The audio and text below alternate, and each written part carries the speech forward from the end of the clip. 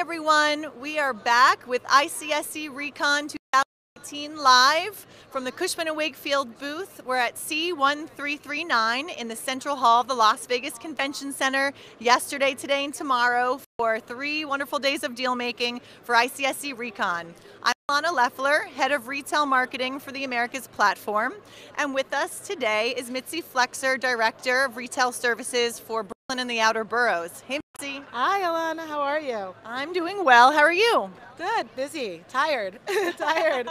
Tired. Are you enjoying your time in Vegas? I am. Um, I love Vegas. So, you know, it's a nice little break. Yeah.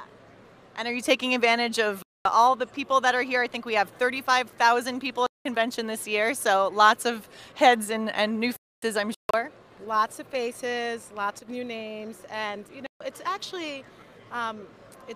I'm really taking advantage of, you know, the just walking the booths and walking around and meeting people. I mean, a lot of good stuff is happening. That's great. I mean, everybody says this conference is what you make of it, and the more you can get out there, meet new people, make new contacts, can only help your business, can only help you grow on every front. I agree. I agree. So let's talk about Brooklyn retail. Everyone loves Brooklyn. Everybody does love Brooklyn. It is like the hottest place in New York right now. I mean, all the retailers are flocking there. It's like they know they have to be in Manhattan, but they know that they need to be in Brooklyn now. Yeah, and it's really, you know, this whole idea of Brooklyn as a brand and Brooklyn, the you know the hottest place to be and where people want to go.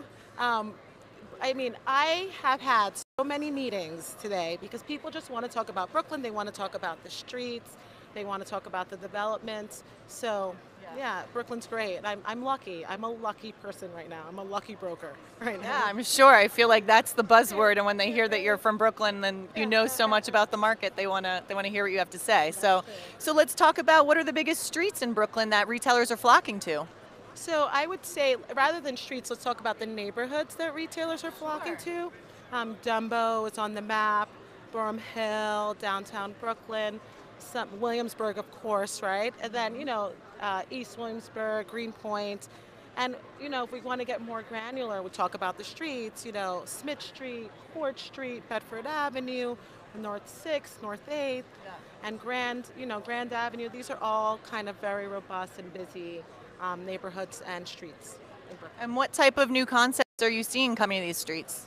You know, it's really interesting. So what I'm seeing anyway, or what's coming on coming in front of me or that's passing by me are a lot of international tenants, and this is something we've talked about before Right. for a long time. A lot of international tenants are kind of doing this doing this brick to mortar, uh, uh, clicks to bricks, Yep. right? So let's say they had a website. And you know, and their website was doing tons of business. They're actually taking that metric to locate places in Brooklyn where they want to be. So Yeah. a lot of the calls I'm getting, I'm getting from these tenants are, hey, you know, I was looking at my analytics, I was looking at my metrics, and I'm Yeah. realizing that I need to open a brick and mortar store on this street, Mm-hmm. uh, you know, in Brooklyn, and I need to be there because that's where my consumer base is. So I'm getting a lot of that, and those are the kind of tenants that I am myself. I'm experiencing in the market. Right. Right, and we're definitely seeing big data as a trend, you know, with emerging retailers and digitally native retailers coming to the bricks and mortar space. They're analyzing their back end technology, they're looking at their metrics, and it's helping them with their risk assessments, it's helping them with their location and site selections. Um, so that's really interesting. What about um, advice that you would give to a new broker that's looking to make their mark in Brooklyn? What would you? What's your, what's your little secret you would say to them when they would be coming on board? I don't really want to give them the secret sauce, but what I That's would, yours to keep, I think, Yeah, right? But what I would tell them is move to Brooklyn or move to the outer boroughs, live there for at least six months. Mm-hmm. Canvas, walk your streets, figure out what people, what their habits are, where they're shopping, where they're walking, what's needed. And once you understand that and you're new in the business, you decide you want to take the plunge and come to the outer boroughs.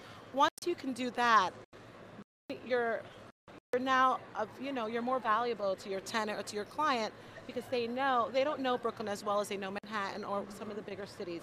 So if you can say, hey, I, I live on that block, I walk that street, I know what's needed here, or I know you should be here. That's it's really about having um, street knowledge, being the boots on the ground, and really understanding where you live and who the people are in your neighborhood. Well, great insights, Mitzi. Thank you so much for joining me today. Thank you. Thanks for joining us and check back throughout the day. We'll be Facebooking live to you from ICSC Recon 2018. Thanks, Alana.